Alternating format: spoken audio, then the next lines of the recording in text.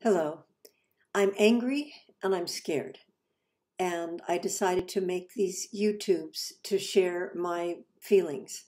Uh, I'm just a common citizen. I'm a semi retired history professor and um, professor of American Sign Language and Deaf Culture. But like I said, I'm, I'm scared.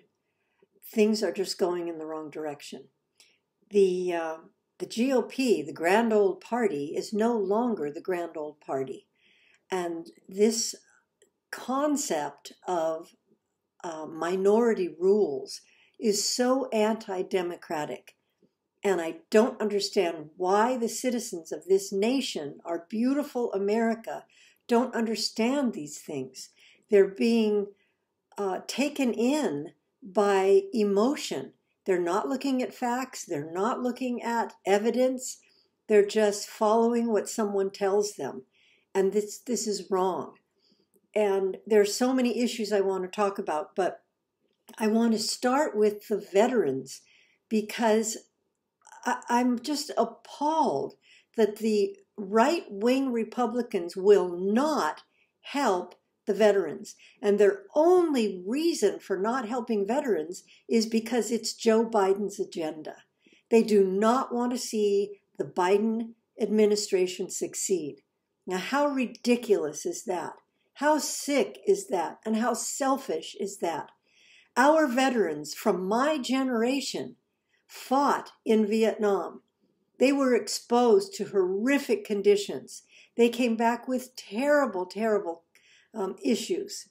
And the GOP, the, these fanatical right wingers, absolutely refuse to reach out and help American citizens who fought for our freedom and were exposed to these horrendous chemicals. The right wing radicals will not help them because it's a Joe Biden administration issue. Now that's sick. I don't know what to do about it. I just thought I would maybe someone will watch this. Contact your your representatives and tell them how appalled you are. I know the veterans are out protesting and rightly so. This was my generation. I saw these young kids go off to war to fight for what they believed was right and American and to come back battered and abused and it's it's just disgusting. So i don't know. If you have any ideas talk to your neighbors talk to your friends talk to your families. We have to start talking about these issues because it's too important.